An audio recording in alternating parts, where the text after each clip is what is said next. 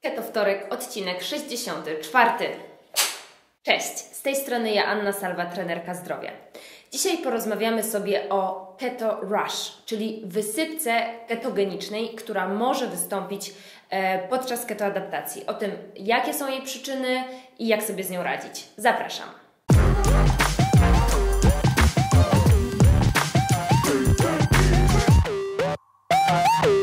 Termin keto rush, czyli e, wysypka ketogeniczna, e, to tak naprawdę stan zapalny skóry, który ma taką fantastyczną nazwę prurigo pigmentosa. E, są to plamy na skórze w zależności od stadium tej wysypki w kolorze brązowym, czerwonym albo już później takim jasno-blado-różowym.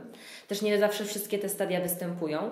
Natomiast to, co przede wszystkim chcę powiedzieć, to nie jest stan zagrażający zdrowiu bądź życiu i ta wysypka to nie równa się, że keto nie jest dla Ciebie. E, o przyczynach zaraz sobie powiemy, natomiast jeżeli oglądasz ten film i nie miałaś nigdy tej wysypki, ale teraz nie wejdziesz w ketozę, nie rozpoczniesz ketoadaptacji, bo boisz się, że ją dostaniesz, to naprawdę uwierz mi, bardzo mało osób e, tą wysypkę dostaje. To nie jest tak, że każdy na keto dostaje wysypki. Wręcz zazwyczaj skóra, włosy, paznokcie poprawiają się w stanie ketozy. Także to nie jest coś, co, jest, co występuje często. Natomiast rzeczywiście pytaliście mnie o to w komentarzach. Moi podopieczni, wśród moich podopiecznych nikt chyba takiej wysypki nie miał, chyba że jakieś takie jedno-dwudniowe. Natomiast wiem, że to się zdarza. Także przejdźmy do tego, co tą wysypkę może powodować. Pierwszy przypadek, y, gdzie opisana została ta wysypka, to było chyba w Japonii w 1971 roku. I tak naprawdę do tej pory nie wiadomo, jaka dokładnie jest przyczyna ketowysypki. Jest kilka podejrzeń, według mnie jedno jest y, takie najbardziej logiczne dla mnie. Więc zacznijmy właśnie od tego. Jeżeli wchodzimy w stan ketozy, przeprowadzamy ketoadaptację, to jak wiesz, Twój organizm jeszcze na początku nie potrafi korzystać efektywnie z tłuszczu jako źródła energii. Mamy trzy ciała ketonowe, tym, które mierzymy we krwi, to jest BHB i to głównie na nim później polegamy. Natomiast na początku mamy właśnie ten nieświeży oddech, który, o którym była mowa w jednym z filmie, acetonowy, dlatego że aceton jest jednym z ciał ketonowych, który właśnie wydalamy z oddechem, ale również przez na przykład pot, przez naszą skórę. I aceton ma takie, może mieć takie działanie drażniące dla naszego naskórka, może powodować takie okołonaczyniowe stany zapalne. I według mnie właśnie najprawdopodobniej to jest główna przyczyna, że po prostu niektóre osoby są bardziej na ten aceton wrażliwe i ta wysypka się pojawia. Jest również kilka innych teorii, jak na przykład przedłużony post, że osoby, które rzeczywiście miały taki długi post, nie mówię tutaj o IF-ie, gdzie jemy tam w oknie 6 czy 8 godzinnym, no to również taka to wysypka występowała, tak samo jak przy dietach low carb, no ale to po prostu ogólnie mamy tutaj do czynienia z małą podażą węglowodanów, więc wytwarzają, zaczynają się wytwarzać ciała ketonowe i jest to też związane z dużą aktywnością fizyczną, e, z tym, że po prostu się dużo pocimy, wystawiamy się na działanie promieni słonecznych, mogą to być też alergie, które po prostu są i są one przez na początku e, wzmacniane w okresie ketoadaptacji i szczególnie wychodzi to na skórę. Natomiast pamiętajcie też, że mm, ketoza ma takie działanie oczyszczające. Wątroba, e, w której głównie przetwarzane są toksyny, również w niej wytwarzane są ciała ketonowe.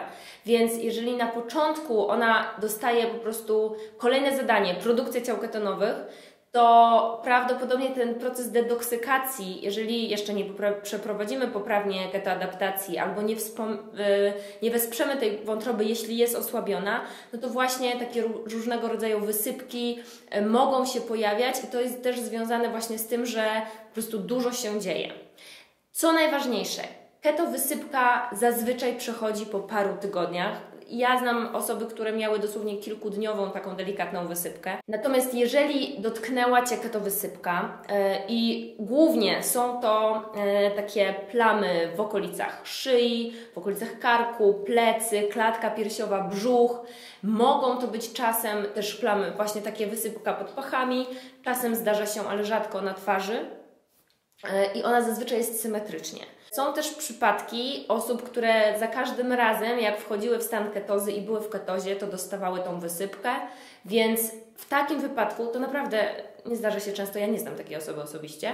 Natomiast jeżeli e, by to kogoś dotyczyło, no to moim zdaniem e, po prostu może nie ma sensu i ketoza nie będzie po prostu dla tej osoby optymalną dietą, ale zazwyczaj to mija, bo też aceton, który wydychamy i który wydalamy przez skórę, yy, przestajemy go wydalać już w takich ilościach, dlatego że po poprawnej ketoadaptacji, no to my te ciała ketonowe po prostu wykorzystujemy jako źródło energii. Dlatego nie wydalamy ich już ani z moczem, i o tym też nieraz mówię, yy, ani właśnie z oddechem czy przez skórę.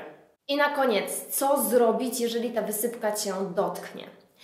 E, pierwsza rzecz to standardowo, jak przy różnych AZS-ach i problemach skórnych, warto zadbać o odpowiednią higienę. Warto używać środków, które nie będą miały w sobie chemii, takich dla alergików, do, chociażby do mycia.